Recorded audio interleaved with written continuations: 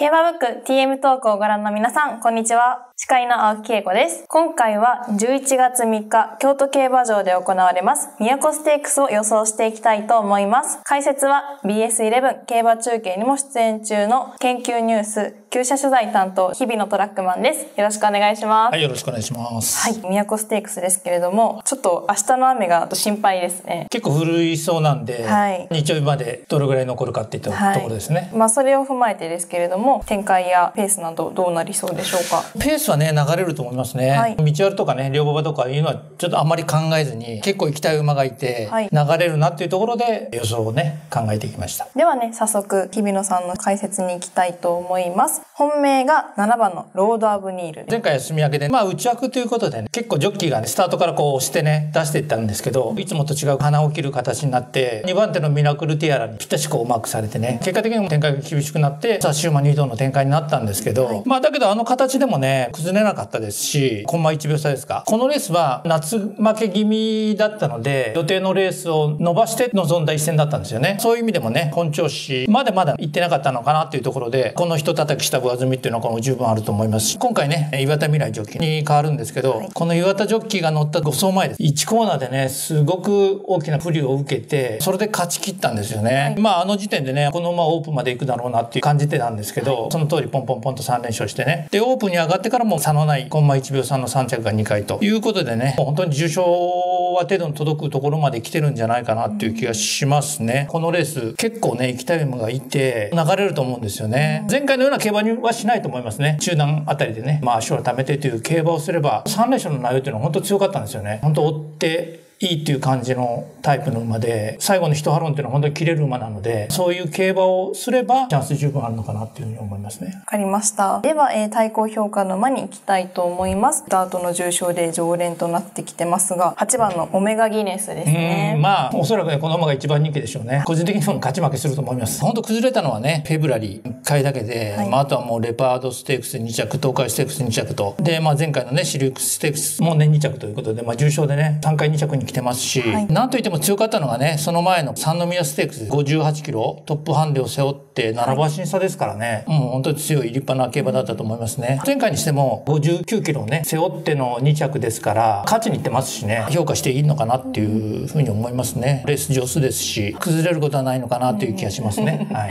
金量今回もね、ちょっと軽くなりますから。でね、では、黒三角評価の馬が11番のロコポルティ。2走前の平状況ステークス。はい、これが、オメガギネスが三宮ステークススで7馬身差で勝ったんですけど、はい、まあその時とね同じタイムなんですよね、昨日まあ多少違いますけど、はい、ロコポルティは両馬場でこの時計を出してるわけですから実力的にはそんなに差はないのかなって気がしますね。本当にこう奥手のタイプで、ようやくここに来てなんか自力強化してきたっていう感じで休養前にね2連勝してるんですけどその内容が本当に強くてねこれは本格化してきたなっていう感じを受けたんですけど、前走がねちょっと案外だったんですよね、はい、一気にこう評価が下がってるわけなんですけどまあ休み明けということを考えたら、レース後のジョッキもね、こんなに伸びなかったのは初めてっていう言い方してたんですけど、あの一走だけでね、ちょっと見限るのはどうかなという気がしますね。叩き2走目で代わり右があってもいいのかなと。うん、オメガギネスには乾杯だったんですけどね、はい、差が縮まってもいいのかなというふうに思いますね。わかりました。では次4番手評価の馬に行きたいと思います。5番の、まあ、こう言ってのデリカダですね。前回ね、大スポ杯鑑賞したわけなんですけど、はい、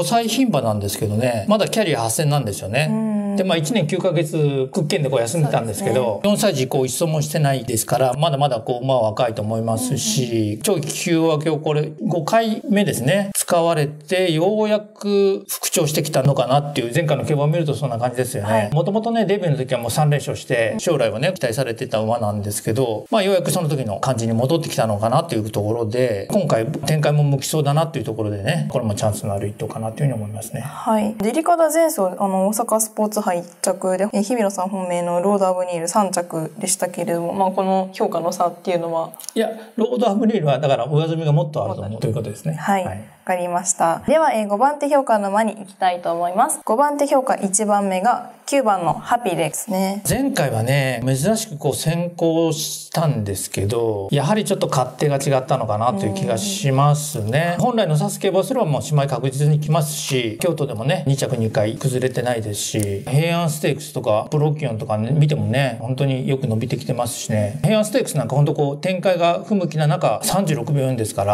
はい、京都コースは悪くないと思いますね。今回は本来の指す形で競馬すれば展開向くのかなっていう気がします。個人的にあの、みゆきジョッキーと初めてコンビ組むのが、なんとなく大久保厩舎とみゆきジョッキーイコールなんか最近のディープボンドかなとか思っちゃうんですけどね。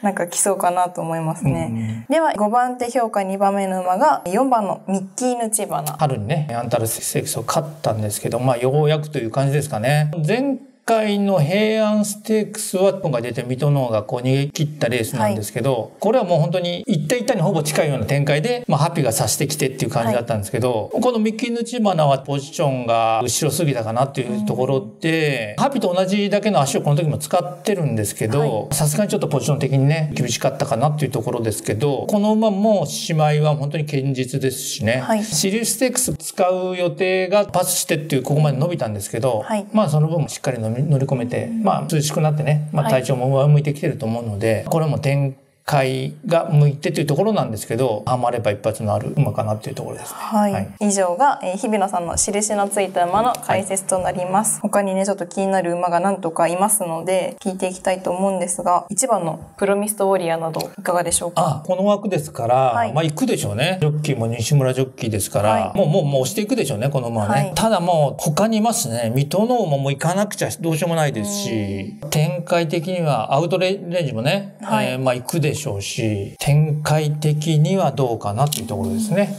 ちょっと厳しくなるんじゃないかなというところで、馬場を考慮しても、馬場よりも展開を取りました。わ、はい、かりました。まあ、あと、芝とね、二刀流の3番のドゥラエレーデなど、いかがでしょう、うん、成績だけを見ると、はい、走ったり走らなかったりなんですけど、うん、ダートに関して言えば、はい、本当に安定して走ってるんですよね。ただ、これもやはり先行押し切りタイプなんで、展開的にはその前を捕まえに行って厳しくなるんじゃないかなと思います。あともう一頭だけ、もう一頭あの、二刀流がいるので、15番のサンライズジパン軍。あ、サンライズジパン軍ね。はい、まあ3歳馬なんで、はい、1キロ軽いんですけど、はい、やっぱり1キロなんですよね、言ってもね。フォーエバーヤングとかに比べたら、まあ本当に楽なメンバーだと思いますけど、はい、この2走前、小塚田賞にしても、やっぱりメンバー考えると、そんなに強くないし、このレースはもう切れ味勝負だと思ってるんで、はい、切れ味勝負になったらね、スパッと切れるタイプではなくて、やっぱりダートだと、ある程度前に行って粘り込む形かなというところで、ブルーマとの決め決め手勝負になったらちょっと見劣るんじゃないかなというところで、ノーマークにしました。以上が、えー、解説となります。ここで一度印を振り返っていきます。本命が7番のローダーブニール、対抗が8番のオメガギネス、黒三角が11番のロコポルティ、以下はご覧の通りとなっております。この後、解明の発表に移りたいと思います。その前に CM をご覧ください。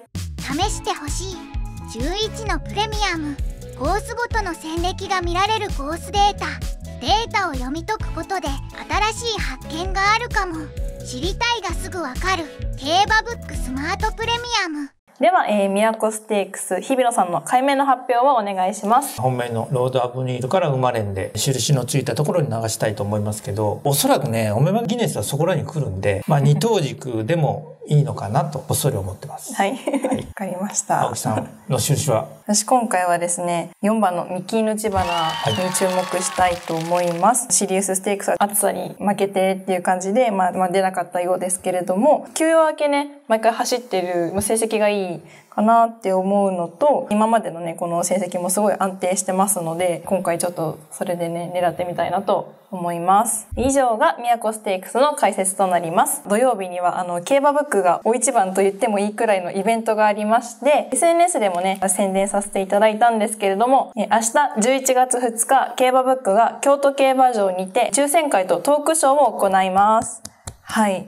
あの、初めてのね、試みなんですが、限定800人外れなしということで、ステッカーだったり、サコッシュだったり、あとクオカードですね、ご用意しておりますので、あとね、こちら特賞が3名様限定で各ジョッキーのサイン入りアルミパネルをご用意しております。ちょっと足元は悪いかなと思うんですが、皆さんよろしくお願いします。この動画が参考になったという方は、ぜひグッドボタンとチャンネル登録をお願いします。今週もご視聴いただきありがとうございました。